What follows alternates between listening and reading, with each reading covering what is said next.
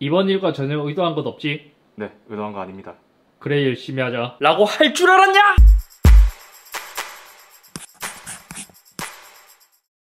안녕하세요 이썸입니다 아이패드 프로 5세대가 한국에 정발하기 전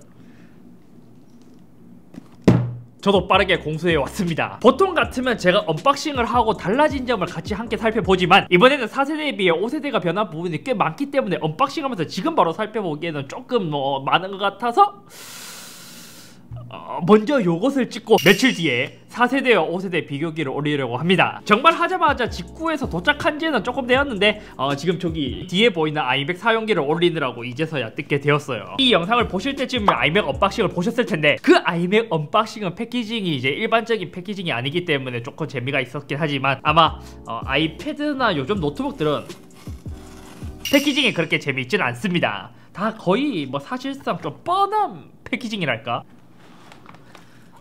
아이패드.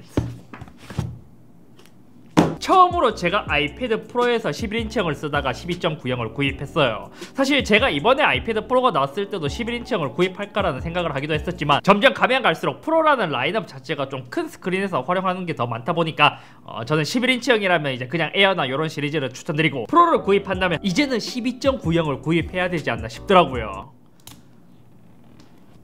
이제 미개봉으로 팔 수도 없는 아이패드 프로가 되어버렸고 짜잔.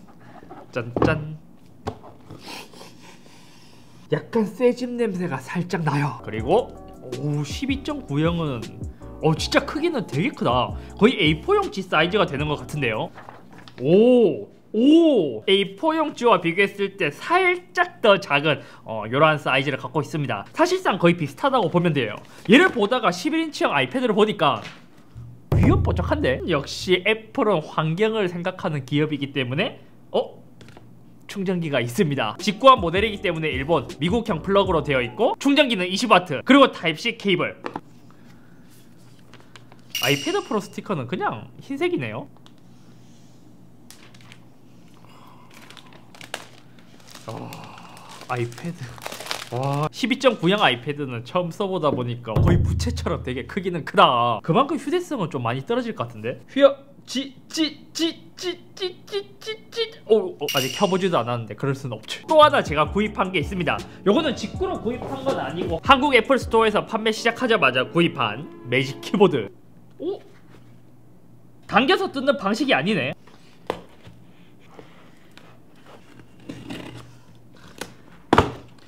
새로운 컬러로 출시한 매직 키보드입니다. 처음에 얘 가격 보고 어질 어질해갖고 도저히 맨정신에 살 수 없어서 집 앞에 있는 슈퍼에서 소주 두 병을 사서 바로 까고 술김에 질렀습니다. 화이트로 선택한 이유는 별것 없어요.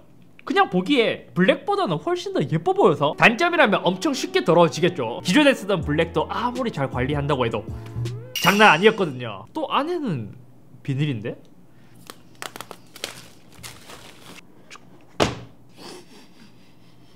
오, 비슷한 냄새. 완전 순 화이트 색상의 매직 키보드. 와 근데 예쁘긴 예쁘다. 첫인상은 블랙보다 화이트가 더 예쁘고 이제 가만 걱정되는 게 이제 때탈까봐 걱정이 되기는 해요. 참 예쁘기는 진짜 예쁘네. 여기도 스웨이드 같은 부드러움.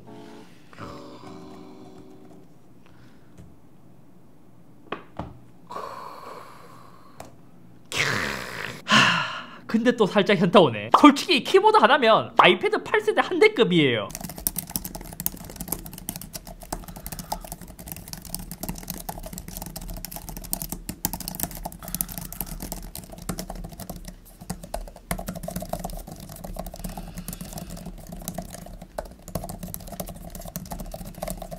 그리고 아이패드 프로 5세대가 처음에 나왔을 때 4세대 키보드와 호환이 안 된다는 그런 루머가 있었습니다. 그러니까 4세대 매직 키보드를 40 몇만 원 주고 구입했는데 새로운 세대 그러니까 1년 뒤에 제품을 구입했는데 호환이 되지 않는다는 거에서 많은 분들께서 그 소식에 격분했죠. 왜냐면 이 키보드가 막 한두 푼 하는 것도 아니고 entry급의 아이패드 가격인데 그게 1년 뒤에 신제품에서 못 쓴다? 하, 그건 좀 선 넘었지. 왜냐면 지금도 소주 두 병 까고 구입할 정도로 진짜 이제 가격에서는 어, 제정신이 아니기 때문이죠. 처음 이 루머가 나왔을 때 몇 가지 이유가 있었습니다. 기본적으로 새로운 아이패드 12.9형은 미니 LED가 적용된 Liquid Retina XDR 디스플레이가 들어가면서 두께가 4세대에 비해서는 조금 더 두꺼워졌다는 점 그리고 뒤에 자석 배치가 기존과 좀 다르기 때문에 못 쓴다라는 루머가 있었습니다. 근데 어쩌면 기레기 아니 조금 관련 기사들이 조금씩 조금씩 뜨면서 이 선동이 아닌 선동이 이루어진 거랄까. 결론은 4세대 매직 키보드를 5세대 아이패드에 연결해도 사용은 할 수 있습니다. 이 기사를 조롱하던 웃긴 댓글들도 있었거든요. 대부분 못 믿겠다는 반응. 재밌네요. 2018년형 12.9 iPad 0.5mm짜리 강화 유리로 붙였는데 지금 Magic Keyboard 쓰는데 아무 문제가 없습니다. 말이 안 되는 정보일 가능성이 높습니다.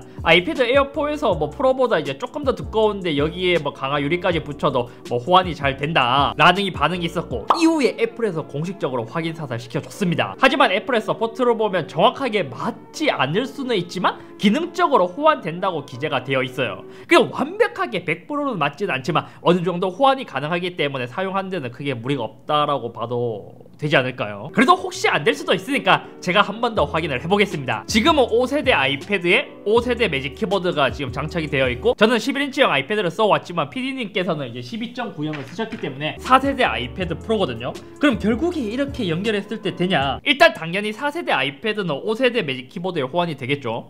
얘를 빼고 얘를 연결했을 때 키는 정상적으로 먹고 트랙패드도 정상적으로 작동을 합니다. 결국에 이렇게 기능적으로는 문제가 없지만 결국 이게 닫았을 때 닫기냐에 대한 문제인데 4세대 아이패드 프로는 당연히 5세대보다는 더 얇기 때문에 문제없이 잘 닫힙니다. 루머로 많이 돌았던 것.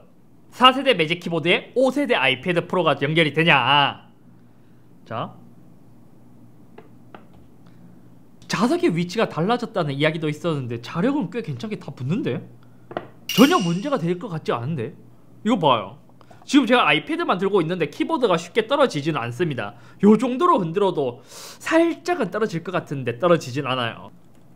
키보드 정상 작동하고 트랙패드도 정상적으로 작동을 합니다. 그리고 키보드가 제대로 닫히냐? 짠 짜라잔 짜라잔 오. 얘도 정상적으로 닫히는데 아무 문제가 없습니다. 하지만 5세대 매직 키보드에 연결했을 때보다 살짝 타이트한 감이 없지 않아 있기도 해요. 하지만 뭐 일단은 제대로 닫힌다. 그럼 여기서 강화 유리를 연결했을 때도 닫히냐? 자 일단은 뭐 얇은 거야. 일단 두꺼운 거부터. 두꺼운 게? 어... 쿠팡에서 여러 가지를 구입했거든요. 그 중에서 가장 두꺼운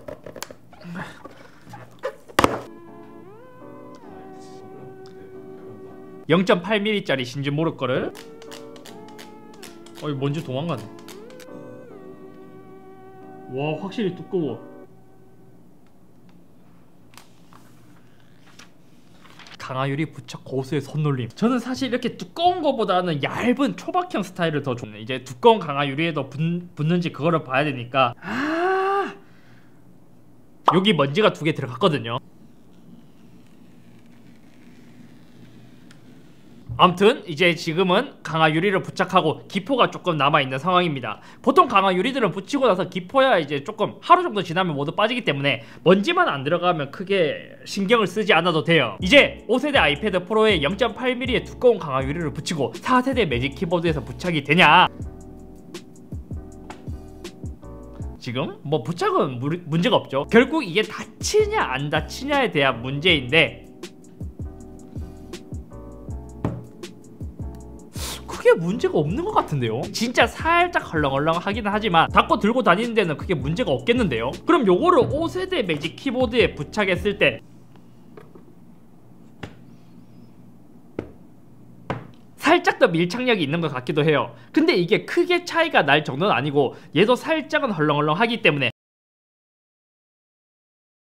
결국 4세대 Magic Keyboard를 쓰신 분들이 5세대 iPad Pro로 넘어왔을 때 Magic Keyboard는 굳이 따로 구입하지 않아도 된다. 그리고 분명히 4세대 iPad Pro를 구입하신 분들 중에서 Magic Keyboard를 맛보려고 구입했었는데 가격 대비 무게도 무겁고 그렇게 만족스럽지 않다 보니까 중고로 파시는 분들도 있을 거예요. 그럼 그거를 구입해서 쓰는 것도 좋을 것 같습니다. 그래서 오늘은 이렇게 unboxing 그리고 Magic Keyboard가 호환이 되냐 안 되냐. 기존에 있었던 뉴스 기사로 인해서 이게 막 호환이 안 된다 막 Apple을 막 욕하는 그런 것도 있었는데 실제로는 뭐 완벽하게 그러니까 Apple에서도 100% 호환이 되지는 않지만 사용하는 데는 크게 문제가 없다 정도로 보면 될 것 같습니다. 아무튼 오늘은 여기까지며 이렇게 제품만 놓고 봤을 때는 디자인이 거의 유사하기 때문에 뭐가 달라졌냐라고 하실 수도 있지만 실제로는 내부의 변화가 꽤 많이 이루어졌기 때문에 어, 제가 조금 더 사용해보고 디테일하게 비교를 해보고 한 3일 정도 뒤에 4세대와 5세대 차이점 영상으로 다시 찾아뵙겠습니다. 오 진짜 비슷하네.